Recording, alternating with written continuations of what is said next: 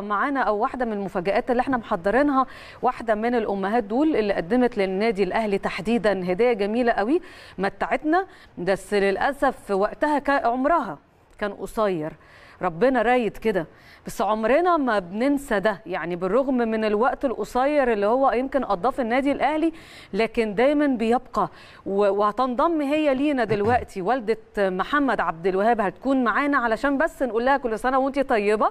يا أم محمد يا ست الكل يا راضيه يا جميلة يا اللي انت تاج وضرة وضرة فوق جبين كل أهلاوي الحقيقة بيعتز بيكي. وكلنا النهارده يعني ولاد النادي الأهلي كلهم ولادك مش محمد بس ربنا يرحمه. كل سنة وانت طيبة حبيبتي.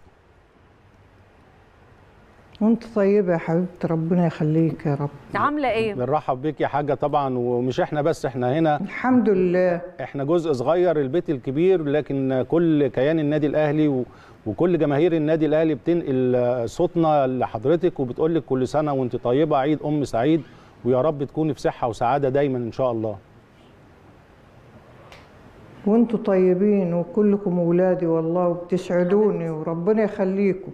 ربنا حبيبتي، يخليك ربنا يخليك. زي ما يا. قالت سهام كلنا اولادك يعني لا يعني العمر طبعا طبعا كلنا آه، يعني آه، محمد عبد الوهاب طبعا آه، حبيب الكل. وإحنا دايما بنتذكره بالخير ودايما بنقول إن وراء كل بطل في أم عظيمة.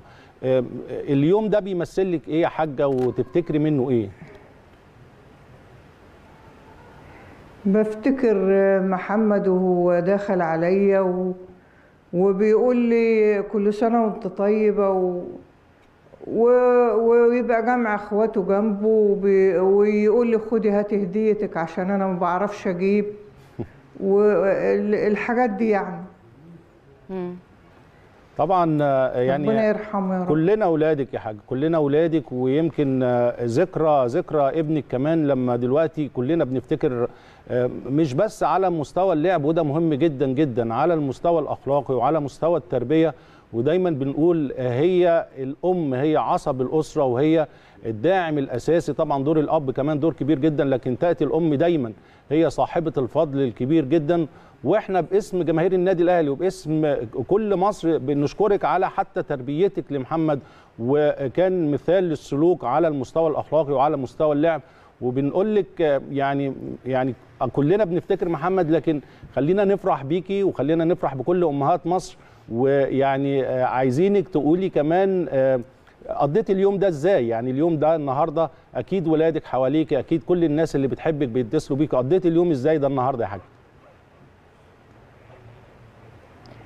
اليوم آه، قضيته طبعا ال- الأولاد أيوه حواليا ومعايا الحمد لله. دايما يا رب.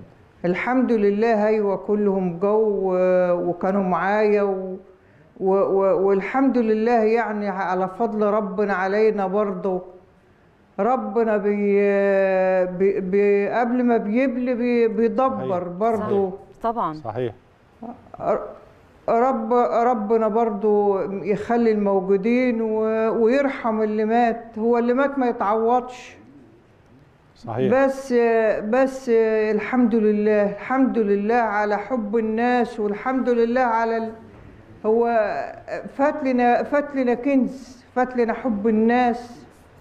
وهو محمد نفسه كان كنز خير. صح. أنت عملتي إيه يا حاجة علشان يعني محمد يظهر ويبقى بطل وبطل في النادي الأهلي؟ احكي لي ربيتي محمد وإخواته إزاي؟ كنت بتقولي لهم إيه؟ كنت دايما حريصة تعلميهم أنت إيه يا حاجة الدين يا بنتي. حبيبتي. تبقى- بعلمهم تقوى الله والدين. امم أهم حاجة آه، الأخلاق والدين. آه والضمير. هو ده أهم حاجة. امم آه. آه. حب الناس. امم آه، إنه ما يكرهش حد. امم ما يعني ما ما ما, يح ما تلقاهم اولادي كلهم واحد كده ما يحدوش على حد. امم ما يكرهوش حد. حتى اللي يكرههم وبيعمل فيهم أفصال تبص تلاقيهم لو جه كلمهم ولا حاجة. مم. إحنا كلنا طبيعتنا كده. تلاقيهم مسبقين بالخير وكده وما يشيلوش جواهم يعني حاجات وحشة وال- الحاجات دي يعني. امم و و ك- كن- خوف ربنا هو ده, ده يعني بيبقى بيبقى سلاح. صحيح. مع ال مع ال خوف خوف من ربنا. بيبقى سلاح مع الإنسان على طول. ده صحيح يا حاجة وما شاء الله يعني حضرتك يعني ربيتي وأوفيتي وكان أكيد في صعوبات كتيرة جدا بتمر بحياة الأم عشان تصنع بطل وخاصة لما هذا البطل يكون كمان مقترن بكيان كبير زي النادي الأهلي عنده عنده مبادئ وعنده آه، سلوك معين. فأكيد هذا السلوك ودايما بنتكلم إن البيت تربية البيت هي هي الأول وبعدين بيجي النادي. فواضح جدا يعني من كلامك وأكيد واضح من طبعا سلوك الله يرحمه محمد إن كان في توازي كبير جدا. مبادئ النادي الأهلي مرتبطة بمبادئ البيت والأسرة كان ليها عامل كبير جدا جدا يا حاجة. إنك تربي وإنك تطلعي وإن يكون في نجم كبير زي محمد الله يرحمه موجود في جدران النادي الأهلي. يا ابني هو ال- ال- البيت الأساس. صحيح. البيت بيبقى بيبقى الأساس. ال- ال- المدرسة وال, وال مهما برضو ال- الواحد يطلع بره ويتعلم أيوه بس يعني إيه البيت بيبقى أساس. مم. صح. برضو الت- التنشئة الدينية كويسة بتبقى ال- الولد أو البنت. صح. صحيح. لو عنده ضمير مش هيكذب. لو عنده لو عنده دين مش هيكذب. لو عنده دين هيبقى عنده ضمير. لو عنده دين هيبقى عنده كل حاجة. أنا معاكي 100% قولي لي بقى بعد محمد رحمة الله عليه بقى عيد الأم بالنسبة لك حاجة تانية. مش عايزه أعرف إيه المختلف بس أكيد في ناس كتيرة جدا بيعنيها يعني في اليوم دوت إن هي تقول لك كل سنة وانت طيبة وتبقى حواليكي مش شرط يبقوا ولادك من بطنك اللي جبتيهم. فقولي لي بقى اختلف إزاي النهارده عيد الأم بالنسبة لك؟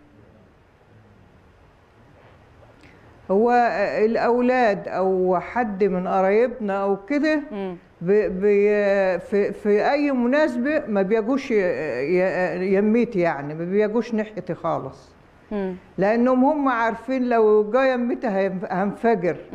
فهم آه ب- يعني بيتلاشاني كده آه آه كل سنة وأنت طيبة وخلاص من بعيد مم. كل سنة وأنت طيبة يا حاجة وإحنا يعني بنقول لك ده صوت كل الأهلاوية وصوت كل المصريين آه، كل سنة وأنت طيبة وإن شاء الله تكون كل سنة سعيدة عليكي وعلى اولادك وإن شاء الله تكوني بصحة وسعادة ودايما متواصلين معاكي ودايما تكوني بخير وسعادة إن شاء الله يا حاجة ربنا يكرمكم يا ابني والله بتسعدوني و... و... و... ويعني أنتم مودين وحشة محمد والله كلكم. حبيبتي. وربنا يخلي النادي الأهلي و... وجماهير النادي الأهلي و... وكل اللعيبة وكل ال- ال- الكباتن بتاع النادي الأهلي وربنا يخلي لنا البيت الكبير. يا حبيبة ربنا قلبي يا روح ربنا قلبي. بحبك. كل سنة وانت كل سنة وانت طيبة. كل سنة وانت طيبة حبيبتي. وإن شاء الله كمان قريب قوي قوي تشرفينا هنا بقى في بيتك البيت الكبير. ينور عشان ينور أكتر. إن شاء الله. يا تعيش ربنا يخليك يا رب. حبيبتي. يا حبيبتي يا رب يخليك. يخليكي يا رب يخليكي مش بس دايما أنا بشكر أم محمد عبد الوهاب جدا جدا نجمنا اللي هيظل طبعا الغائب الحاضر دايما عند كل ال- الجمهور كل ال- الناس بمختلف انتماءاتها. ودايما برضو افتكرت حاجة وهي بتقول ربنا يخلي لنا البيت الكبير. لما كانت كل مناسبة الحقيقة بتمر آه، يعني ودايما النادي الأهلي يعني بيحب يشارك آه، آه، يشارك مثلا الأسر أو ال- أو المجتمع بحس إنه دايما النادي الأهلي موجود في بيوت الأمهات. صحيح، يمكن كان. في مناسبة قريبة بس أنا مش قادرة أفتكرها.